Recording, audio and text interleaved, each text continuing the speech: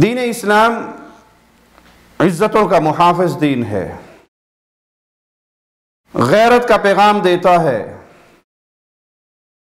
नबी करीम सल्लल्लाहु अलैहि वसल्लम ने अपने सहाबा से पूछा, अगर तुम अपनी बीवी के साथ किसी गैर मर्द को देखो तो क्या करोगे? सैदना साद जो करीबी बैठे थे, कहने लगे, वल्लाहि लअक़्तुलन्नहुमा, अल्लाह की कसम मैं दोनों की गर्दनों को काट दूँगा। सहाबा ने ताजुब से सैदना साद की तरफ़ देखा तो आप ही सलात वसलाम ने फरमाया, साद की गैरत में ताजुब करते हो? अन मोहम्मद की गैरत साद से भी ज़्यादा है, सल्लल्लाहु अलैहि वसल्लम। और अल्लाह मोहम्मद से भी बढ़कर गैरतमंद है। तो ये दीन इस्लाम गैरत का दीन है, इज़्ज़त का दीन है, शरफ का दीन है। यहाँ जिल्लत का कोई वजूद नहीं है। कुफार हर दौर में, इस्लाम के नाम लेवाओं में से कुछ जर खरीद गुलामों को अपनाते हैं और उनके ज़रिए फिर इस्लाम पर हमलावर होते हैं। इन्हीं बदनामों में से एक नाम मलाला का भी है, जिसके माथे पर तो इस्लाम का नाम है, जो बज़ाहिर इस्लाम का दावा करती है और हकीकत में वो कुफार की एजेंट है, वो इस्लाम की दुश्मन है।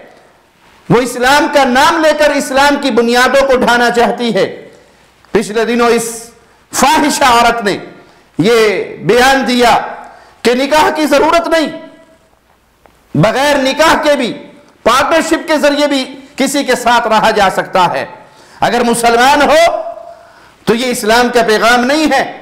एक सहाबी ने निकाह से बेरगबती करते हुए कहा था कि मैं किसी औरत से निकाह नहीं करूँगा। तो नबी करीम सल्लल्लाहु अलैहि वसल्लम ने फरमाया, फमन रागिब अन सुन्नती फलैसा मिन्नी।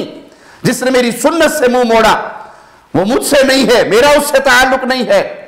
और एक औरत और मर्द का बगैर निकाह के इकट्ठा रहना यह जिना है यह बदकारी है यह बेहयाई है यह माशरे की तबाही का पैगाम है।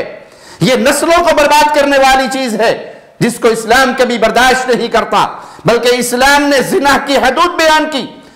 गैर शादीशुदा जिना करे, उसको दुर्रे मारे जाएँगे। शादीशुदा होकर जिना करे, उसको रजम किया जाएगा।